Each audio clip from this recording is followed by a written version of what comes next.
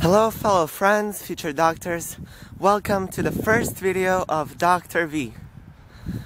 So, to be honest, the real purpose, the true purpose of this channel is to learn more about medicine for those passionate about it. We will walk around, we'll experience everything in real life. We'll talk about it, make, I don't know, make presentations, visit places, talk about how we can prevent the most common things we catch, such as the cold, um, learn more about it together. So you might wonder, Dr. V, oh, he's probably a doctor working in some Massachusetts hospital in USA.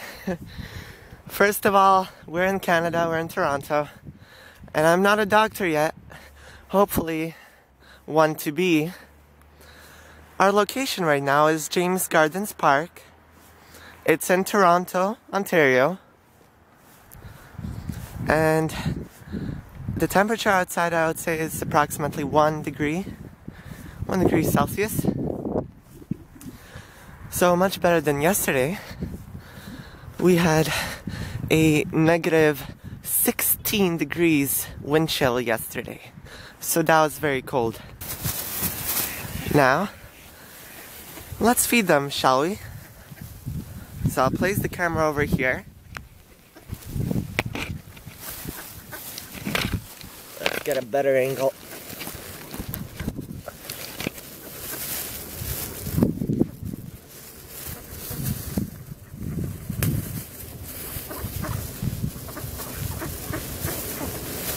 Hello my dear friends, food.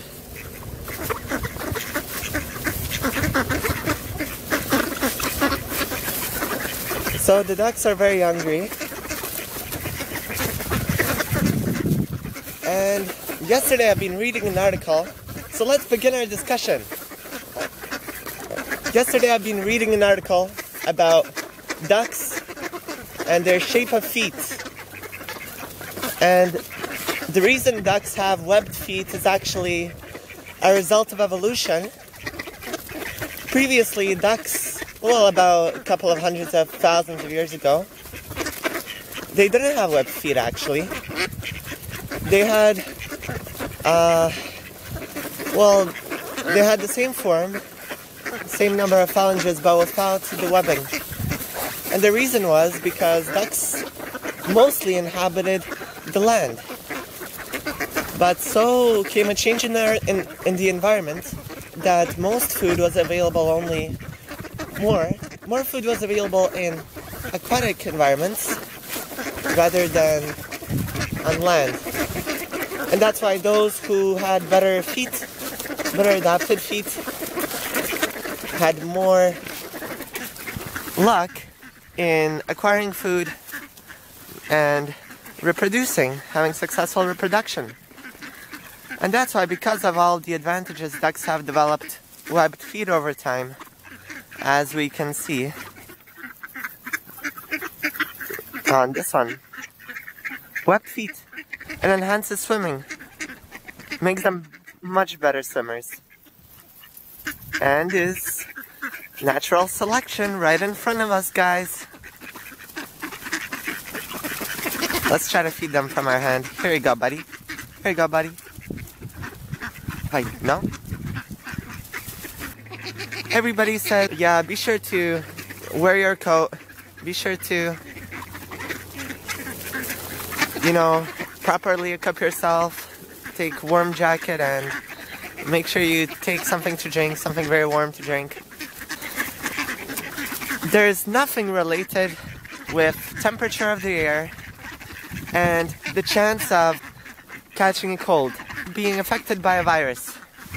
A cold is basically a viral infection and it requires for a virus to attach itself. Okay, that's it guys, no more food for now. If you plan to go outside, you forgot to bring a hat, you forgot to bring your gloves, don't worry about it. Alright, so now we will um, head further into the park and see what interesting things we'll find along the way. Comment if winter is your favorite season. My opinion changes every season. In the winter, I say summer, whereas in the summer, I say winter is my favorite season, and so and so for spring and fall. A couple of days ago, I was walking by this very trail and actually saw a woodpecker woodpecker in one of these trees. It was, I believe, either this tree or here on one of the top branches or this tree. And I was just, you know, moving slowly upwards and searching for those bugs, searching for those critters behind the bark. And I thought it wonderful. It was a wonderful scene. Unfortunately, I didn't have my camera at that time to film it. But as for real life experience, it was the first time that I spotted a woodpecker here in Toronto.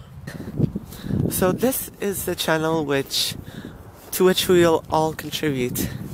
It won't be focused on me. It won't be focused on medical professionals. It won't be focused on one subject. It'll be all of us together contributing. And together we can make a difference.